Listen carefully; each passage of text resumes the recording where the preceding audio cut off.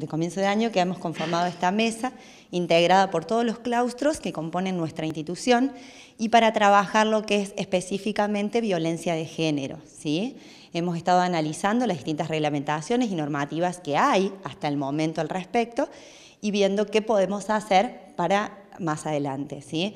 Entonces, en este caso, bueno, lo que se trabajó fue en esta encuesta que finalmente eh, va a llegar eh, el lunes a ser difundida eh, y lo que buscamos es esto, que los claustros conozcan eh, qué es lo que vamos a difundir y, que puedan participar, que todos estén interesados para poder hacer un mejor relevamiento del tema. ¿Cómo va a ser la distribución de estas encuestas? ¿Por cuánto tiempo va a estar en circulación? Bien, eh, vamos a distribuir las urnas. En, el caso de las facultades, en cada una de ellas va a haber, según la dimensión de cada una de las facultades, la cantidad de urnas y la cantidad según de docentes y no docentes que, trabajen en ellas. Eh, va a haber urnas para lo que es el claustro no docente, va a haber urnas en eh, la guardia, eh, lo que es todos los ficheros, centros de salud, comedor, automotores, lugares estratégicos y específicos donde los compañeros pueden acercarse a dejar y a depositar su encuesta.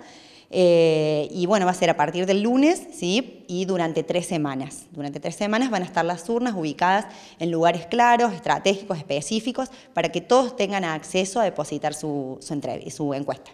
Hola, muy buenas tardes. Bueno, lo que se quiere relevar básicamente es si estas situaciones de violencia de género realmente ocurren en la universidad, cómo ocurren, dónde, en qué partes del campus universitario y quiénes son los actores que intervienen.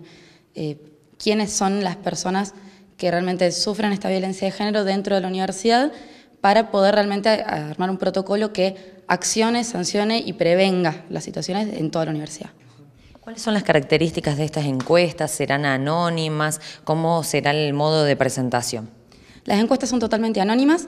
para estudiantes vamos a estar pasando curso por curso, esperamos que participe la mayor cantidad de estudiantes. El modo de presentación, los docentes y no docentes van a dejarlos en urnas, que van a estar situadas en departamentos, guardias y demás. Después se va a sistematizar absolutamente todo y se entregarán los resultados. No tenemos una fecha muy clara, pero apenas esté, se estarán entregando.